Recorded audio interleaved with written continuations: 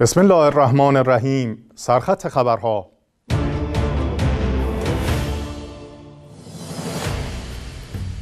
آغاز بازسازی درب القمی حرم مطهر حضرت عباس علیه السلام.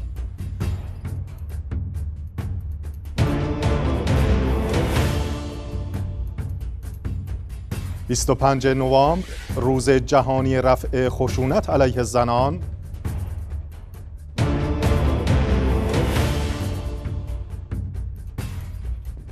هفته بزرگداشت ولادت حضرت زینب سلام الله علیها.